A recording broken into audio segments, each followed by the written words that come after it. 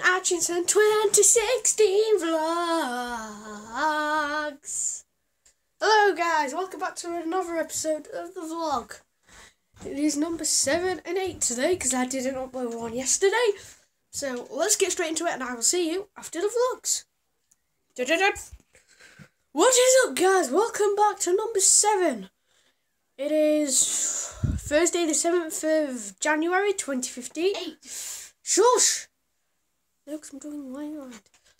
This is meant to have been up today, but it will be up tomorrow, if you like that.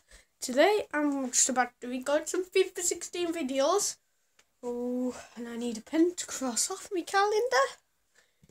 Because guess what? It's the Doncaster Rovers against Stoke game tomorrow! Yes! Oh, yeah. Don't matter, it's only a good experience, isn't it? Well, they haven't got Aaron now, have they? Uh, we've got we've got Andy Williams. He's still quite good. Who? Who? Oh, for God's sake, good for us. But let's go to be end to today's vlog, guys.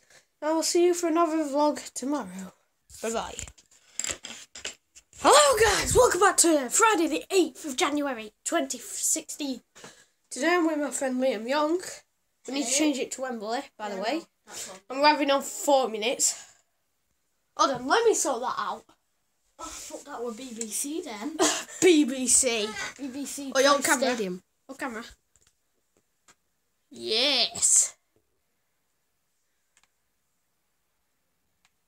Sitting on the toilet. Sitting on the toilet. He's sitting on the toilet.